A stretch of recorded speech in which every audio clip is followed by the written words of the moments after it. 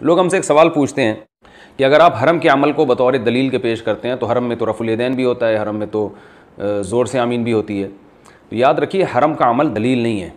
लेकिन हरम का वो अमल जो 1400 साल से होता आ रहा हो, वो ज़रूर दलील है, क्योंकि उम्मत गुमराही पे जमा नहीं हो सकती। हरम में रफुलदैन भी हुआ है और बग़ैर रफुलदैन की नमाज़ें भी पढ़ी गई हैं। जब अहनाफ की सदियों तक हरमैन पर हुकूमत रही है तो रफुलदैन नहीं होता था। तो रफुलदैन में तो दोनों राय हैं, करने की भी ठीक है, ना करने की भी ठीक है।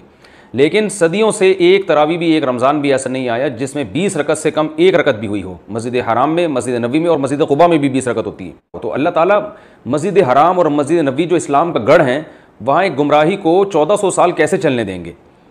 एक गलती अगर होती है तो उसकी असलाह हो जाती है। चौदह सौ साल से एक चीज़ होती आ रही है।